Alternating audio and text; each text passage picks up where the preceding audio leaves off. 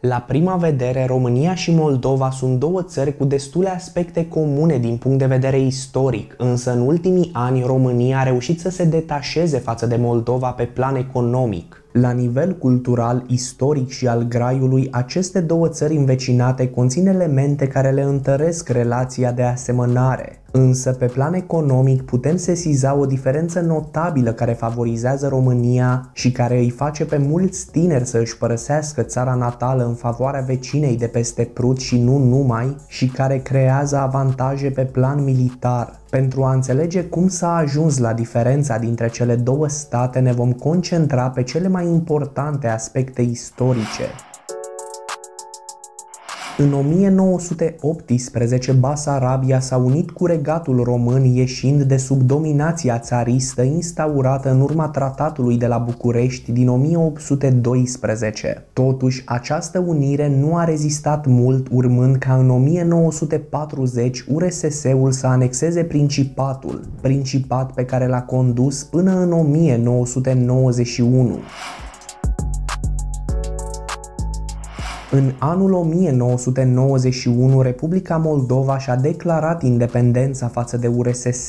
Acest lucru a condus la îmbunătățirea relațiilor țării cu celelalte state din Europa și includerea acesteia în multiple uniuni și programe. Până în prezent, Republica Moldova nu a fost inclusă în NATO sau în Uniunea Europeană, consecințele fiind vizibile în economia țării. Conform articolului 11.1 din Constituția Republicii Moldova, Republica Moldova este un stat neutru, acest statut având un caracter permanent. Forțele armate ale Republicii Moldova sunt constituite din Armata Națională și trupele de carabinieri. Armata Națională, la rândul său, constă din forțele terestre și forțele aeriene ale Republicii Moldova. În țară este valabil serviciul militar obligatoriu conform căruia toți tinerii ce au atins vârsta de 18 ani sunt înrolați în cadrul armatei, excepție fiind doar pentru studenți sau cazuri speciale de boală, situație familiară grea, convingeri personale sau religioase. În prezent, durata satisfacerii serviciului militar în termen este de 12 luni. Alternativ, populația, în special studenții, pot face pregătirea militară la catedre militare.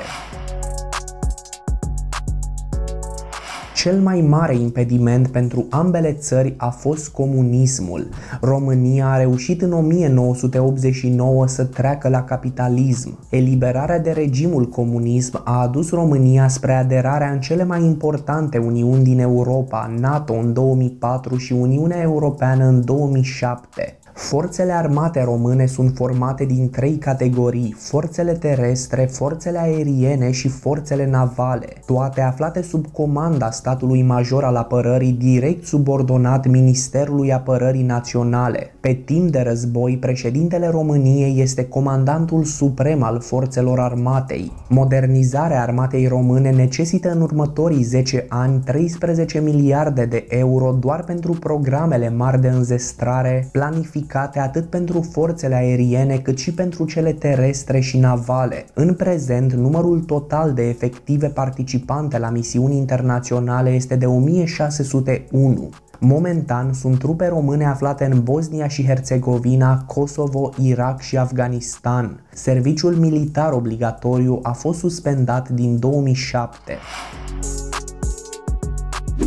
este de ajuns să treci granița dintre cele două țări pentru a putea analiza diferențele economice. Din nefericire, Republica Moldova nu a fost încă inclusă în Uniunea Europeană, iar acest lucru este resimțit pe scară largă. Totuși, România, cunoscută drept fratele mai mare al Moldovei, a încercat și încearcă să ajute prin oferirea locurilor de muncă, a anumitor ajutoare destinate cetățenilor și locuri în învățământul universitar, țintind studenții moldoveni. La nivel statistic, doar capitala Republicii Moldova reușește cumva să susțină economia. PIB-ul din regiunea Chișinău este cel mai mare pe cap de locuitor din Moldova. Totuși, după o scurtă comparație între PIB-urile din diverse regiuni ale României, vom observa că doar două județe, Botoșanul și Vasluiul, o duc mai rău decât regiunea moldoveană. Pe lângă asta, situația din restul țării este dezastroasă. Conform analiștilor, produsul intern brut din celelalte regiuni este unul asemănător cu cel din Somalia sau Eritrea. Neavând un venit care să-i mulțumească, majoritatea locuitorilor aleg calea străinătății. Surprinzător, nu doar muncitorii și studenții aleg să plece din țară, chiar și persoanele bogate își părăsesc țara natală în detrimentul unei țări care le poate asigura un viitor stabil. Anul 2016 și-a pus amprenta decisivă asupra populației Moldovei când, conform Biroului Național de Statistică, aproximativ o treime din populația activă a părăsit țara.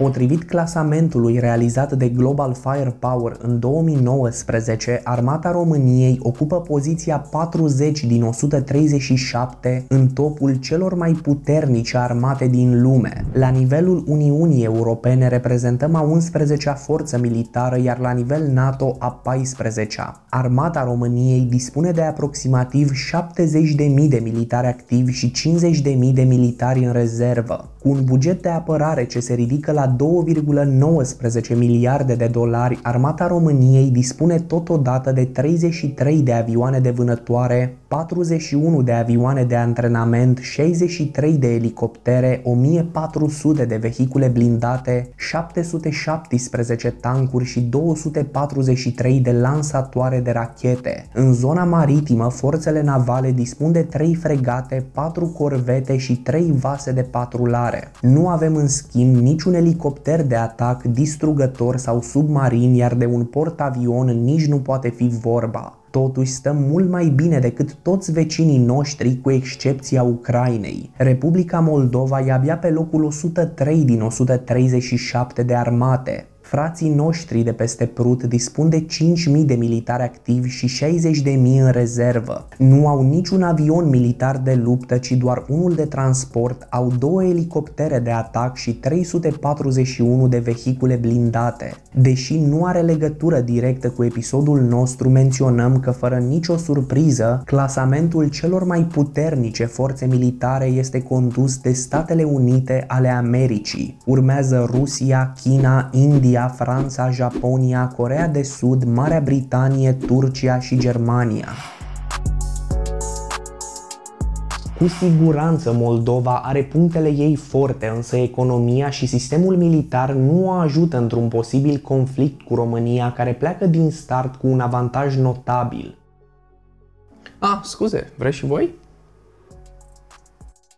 Cu siguranță Mol... Nu, scot vecinii câinele la plimbare, mai așteptăm un pic să, să se depărteze. That was easy. De înregistrat a fost ușor, stai să vezi când vine editarea video.